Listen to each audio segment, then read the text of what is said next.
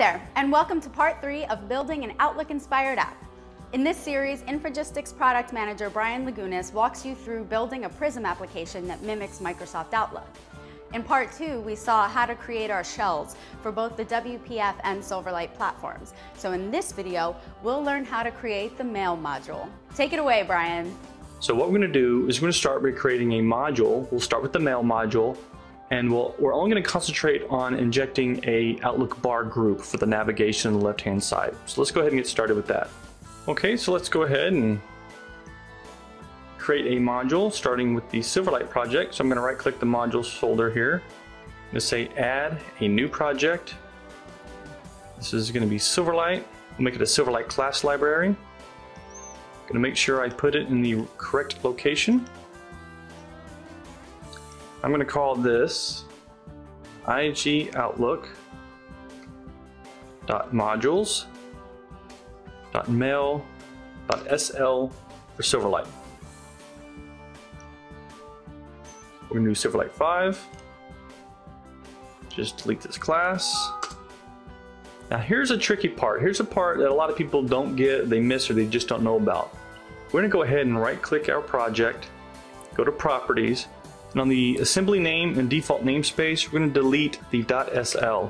We do this because we want all of our namespaces to match up across both WPF and Silverlight so we can share our code. Now, in order to specify or tell Prism that I have a new module to load a module, uh, I need to create a class that implements iModule. Now, because we're going to have more than one module, this means we get to add a base class to our infrastructure project. So I'm going to add a new folder. This is where my Prism code is going to go. I'm going to add a new class. I'm going to call this module base because this is going to be used for every module we create.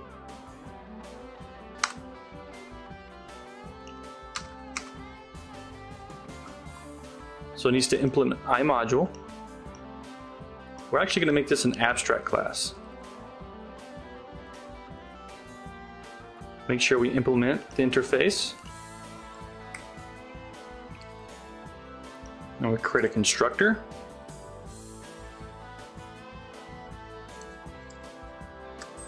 Okay, now our module base is going to be resolving types, registering types, and injecting views. Uh, so we're going to need a reference to the container and to the region manager. So in order to get that, we need to add iUnity container and an iRegion manager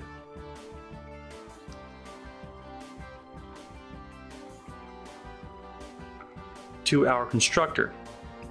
So what this does is whenever a module-based instance is created, uh, Unity is going to see that this class depends on a container and on a region manager, and it's going to give us an instance of those classes. So of course, when we get these, we want to be able to do something with them in a derived class. So we're going to create some properties to store those, those instances. So let's make them protected.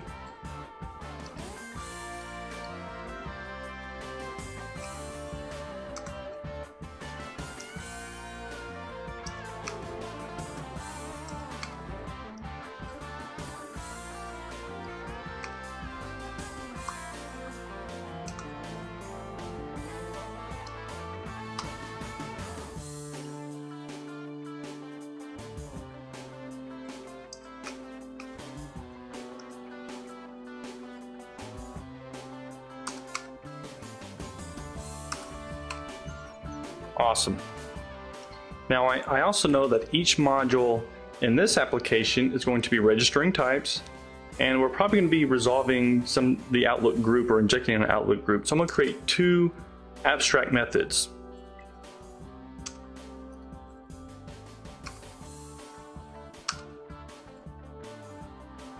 One for registering types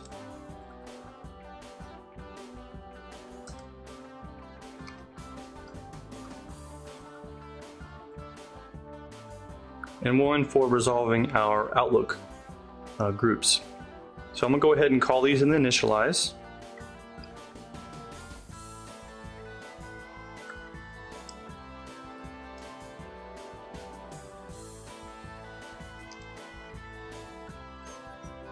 So whenever this class is instantiated, we're going to be getting an instance of a container and a region manager, storing those off, and we're going to be calling register types and resolve outlook group methods from within the initialize of the iModule interface. Now that we've created our module base class for Silverlight, we get to go to WPF and do the same thing in this infrastructure project. So I'm going to go ahead, I'm going to add a new folder, call it Prism. We're going to do our neat little trick of using the same instance of that class. So we're going to go ahead and share that code, make sure I'm in the source, Silverlight, infrastructure, Prism, module base, and we're going to add a link. Awesome. Now we can create our module class in our mail module. So we're going to add a new class. We'll call this mail module. Make sure we add a reference to our infrastructure project.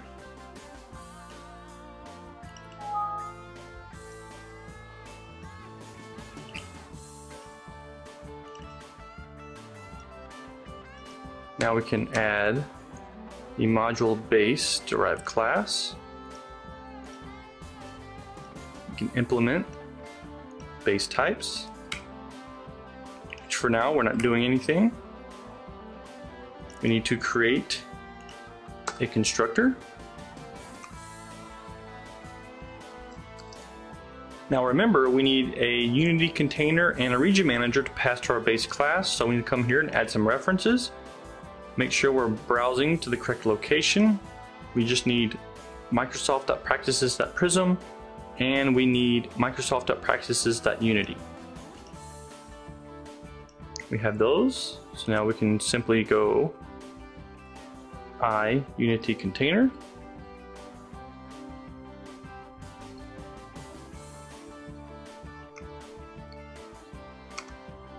I region manager.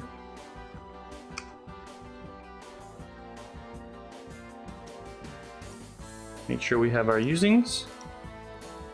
And then we're simply going to pass these to our base class.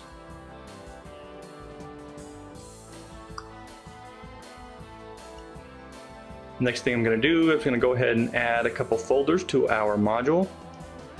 We're going to need some images. We're going to need some menus.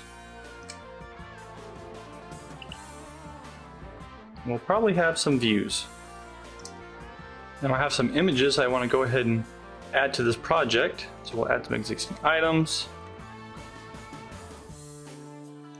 Add those to our project. We're to these images are to be used in our Outlook group. Make sure they're resources, do not copy. Now we're going to go ahead and add an Outlook group view that we're going to be injecting into our Outlook bar that exists on our shell. Now there are lots of ways to do this and uh, technically you can data bind all of the groups and all the content within your Outlook bar with the Infragistics Outlook bar uh, control.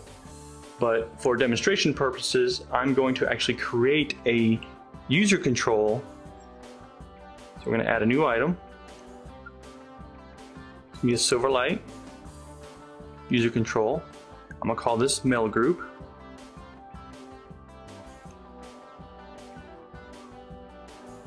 Now this user control is actually going to be the Outlook bar group view that we'll be injecting. So let's go ahead and do a cool little trick. I'm going to go to my toolbox. I'm going to take my Outlook bar group and what this is going to do is it's just going to create my references for me and it's going to add my namespace. I don't need it so I'm going to delete it.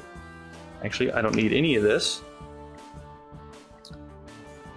And Visual Studio throws all this uh, design designer stuff in there for blend. I don't ever use that, so I just delete it. So now what I'm going to do, so I'm going to go IG, and then we're going to call this the Outlook bar group. Outlook bar group. Make sure we copy this down. We're going to give this a header. This is mail. So, don't forget to go to your code behind and you can either leave this blank altogether or you can actually show the, the class you're deriving from. And what we've done is we have made the Outlook bar group control from Infragistics the root element. So it's no longer a user control per se, but it's, it is an actual Outlook bar group control. So what we want to do now is we want to use those images we created. So we're going to say Outlook bar group large icon template. This is a data template. And we're simply going to be using an image.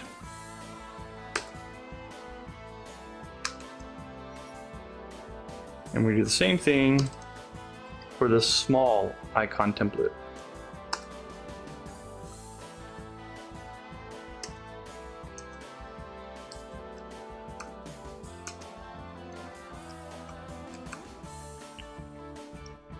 So we'll go ahead and select our image.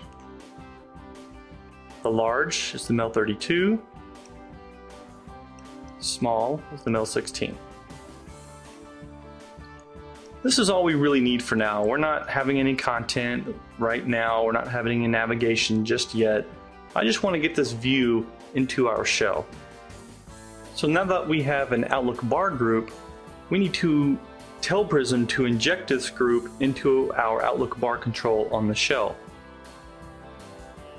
So in order to do that, let's go into the mail module. Now remember that resolve Outlook group abstract method we created in our base class? Well, here's where we're going to use that. Now I'm going to say region manager dot regions region name dot add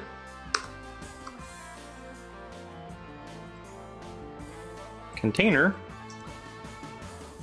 dot resolve mail group.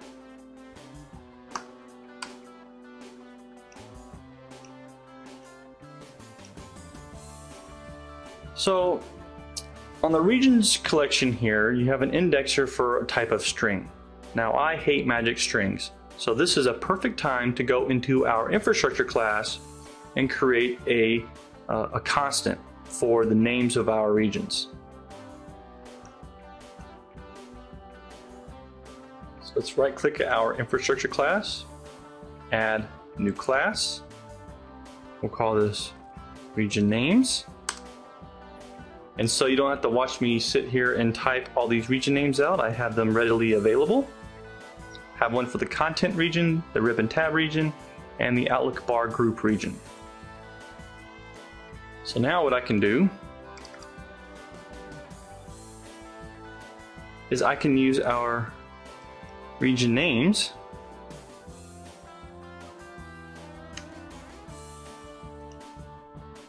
class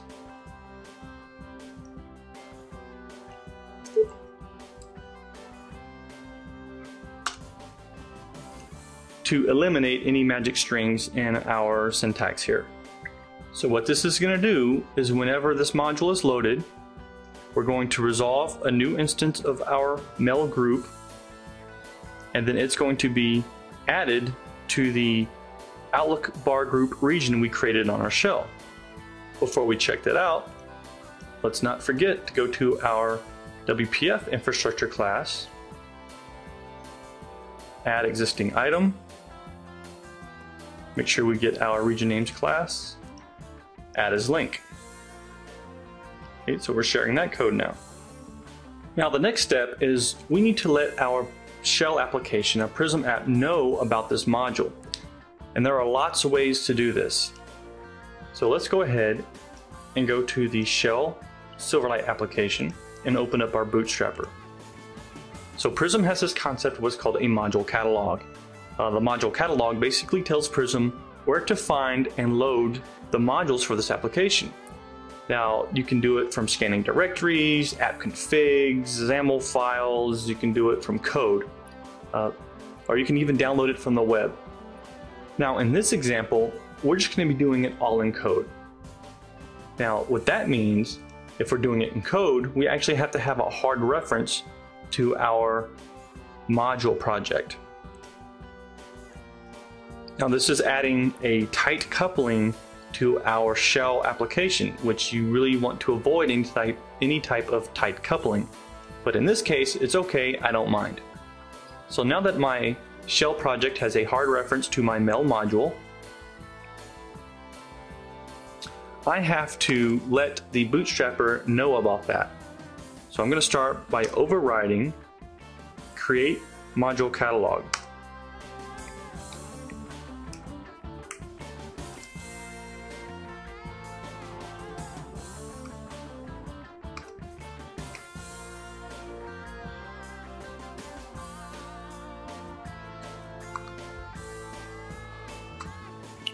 Create a new module catalog.